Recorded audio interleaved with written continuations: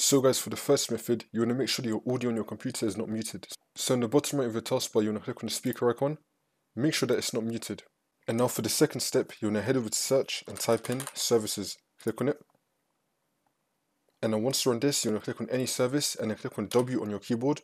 Now you want to scroll down until you find Windows Audio. You want to double click on it.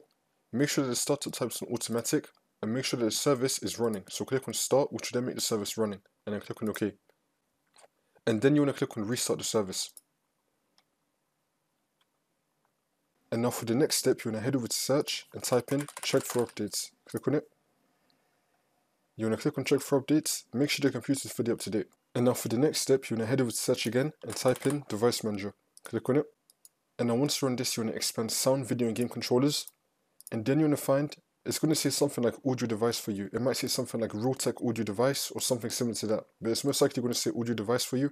You want to right click on it and then click on update driver and then click on search automatically for drivers.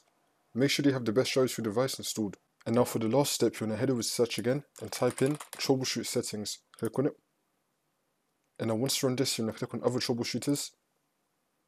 And then you want to find the audio troubleshooter. Click on run. This will come up. You want to wait for this to load. And then once this comes up, you want to click on yes.